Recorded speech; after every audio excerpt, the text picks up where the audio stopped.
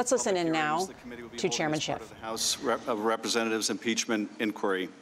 Without objection, the chair is authorized to declare a recess of the committee at any time. There is a quorum present.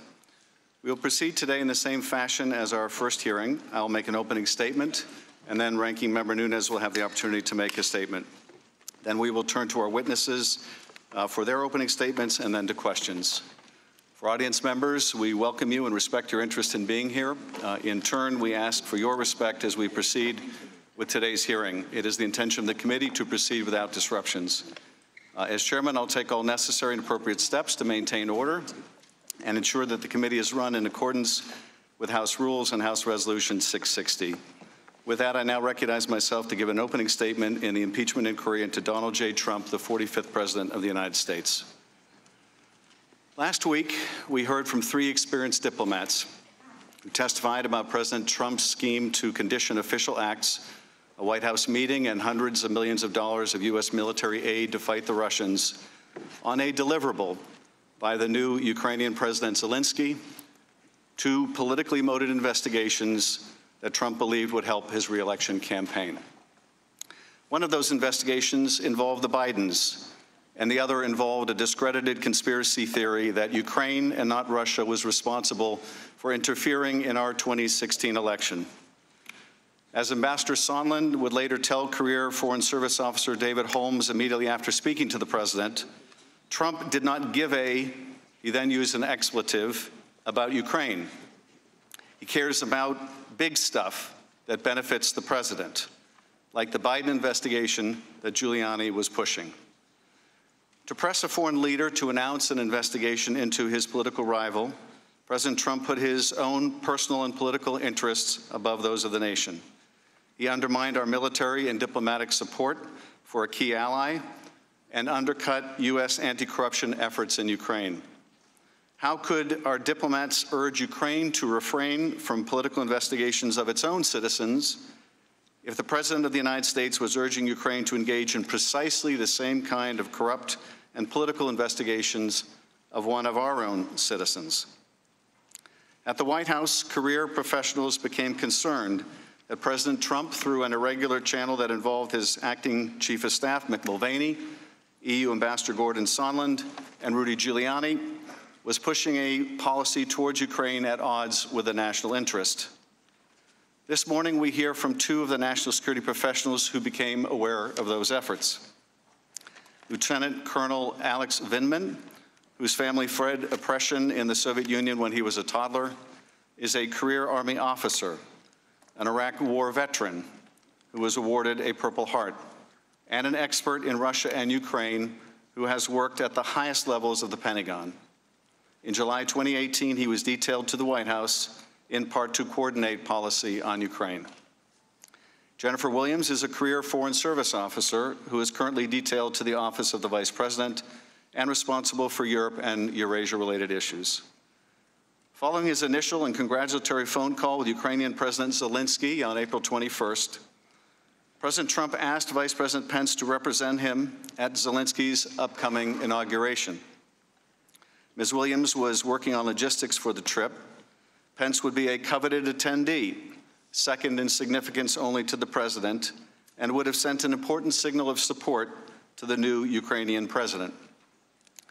In early May, however, Rudy Giuliani had been planning to go to Ukraine to pursue the president's interest in having the Bidens investigated, but had to call off the trip after it became public.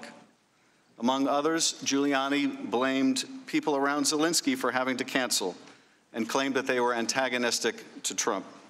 Three days later, the president called off the vice president's attendance at Zelensky's inauguration.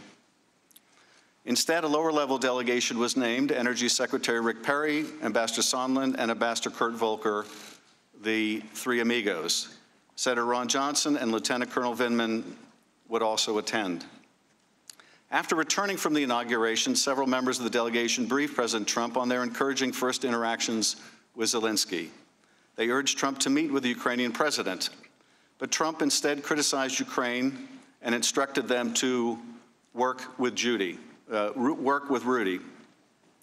A few weeks later, on July 10th, Ambassador Sondland met at the White House with a group of U.S. and Ukrainian officials, including Colonel Vindman, and informed the group that according to Chief of Staff Mulvaney, the White House meeting sought by the Ukrainian president with Trump would happen if Ukraine undertook certain investigations. National Security Advisor Bolton abruptly ended the meeting and said afterwards that he would not be part of whatever drug deal Sondland and Mulvaney are cooking up on this. Undeterred, Sondland brought the Ukrainian delegation downstairs to another part of the White House and was more explicit, according to witnesses. Ukraine needed to investigate the Bidens or Burisma if they were to get a White House meeting with Trump. After this discussion, which Vindman witnessed, he went to the National Security Council's top lawyer to report the matter. Vindman was told to return in the future with any concerns. He would soon find the need to do so. A week later, on July 18th, the representative of the Office of Management and Budget announced on a video conference call that Mulvaney, at Trump's direction, was freezing nearly 400 million in military assistance to Ukraine, which was appropriated by Congress and enjoyed the support of the entirety of the U.S. national security establishment. And one week after that, Trump would have the now infamous July 25th phone call with Zelensky. During that call, Trump complained that the U.S. relationship with Ukraine had not been reciprocal. Later, Zelensky thanks Trump for his support in the area of defense and says that Ukraine was ready to purchase more javelins, an anti tank weapon that was among the most important deterrents of further Russian military action. Trump's immediate response I would like you to do us a favor, though. Trump then requested that Zelensky investigate the discredited 2016 conspiracy theory and even more ominously, look into the Bidens. Neither was part of the official preparatory material for the call, but they were in Donald Trump's personal interest and in the interest of his 2020 reelection campaign. And the Ukrainian president knew about both in advance because Sondland and others have been pressing Ukraine for weeks about investigations into the 2016 election, Burisma, and the Bidens. Both Colonel Vindman and Ms. Williams were on the July 25th call. Vindman testified that due to the unequal bargaining position of the two leaders and Ukraine's dependency on the U.S., the favor Trump asked of Zelensky was really a demand. After the call, multiple individuals, including Vindman, were concerned enough to report it to the National Security Council's top lawyer. It was the second time in two weeks that Vindman had raised concerns with NSC lawyers. For her part, Williams also believed that asking Zelensky to undertake these political investigations was inappropriate and that it might explain something else that she'd become aware of, the otherwise inexplicable hold on U.S. military assistance to Ukraine. Both Colonel Vindman and Ms. Williams also took note of the explicit use of the word Burisma by Zelensky, a fact conspicuously left out of the record of the call, now locked away on an ultra-secure server. Colonel Vindman believed that Zelensky must have been prepped for the call to be able to make the connection between Biden and Burisma, a fact that other witnesses have now confirmed. In the weeks that followed the July 25th call, Colonel Vindman continued to push for a release of the military aid to Ukraine and struggled to learn why it was being withheld. More disturbing word of the hold had reached Ukrainian officials prior to its becoming public. By mid August, the Ukrainian deputy ambassador asked Vindman why the United States was withholding the aid. Although Vindman didn't have an answer, Sondland made it explicit to Ukrainians at a meeting in Warsaw. They needed to publicly commit to these two investigations if they hoped to get the aid. Ms. Williams, we all saw the president's tweet about you on Sunday afternoon and the insults he hurled at Ambassador Yovanovitch last Friday. You are here today, and the American people are grateful. Colonel Vindman, we have seen far more scurrilous attacks on your character and watched as certain personalities on Fox have questioned your loyalty. I note that you have shed blood for America, and we owe you an immense debt of gratitude. I hope no one on this committee will become part of those vicious attacks. Today's witnesses, like those who testified last week, are here because they were subpoenaed to appear, not because they are for or against impeachment. That question is for Congress, not the fact witnesses.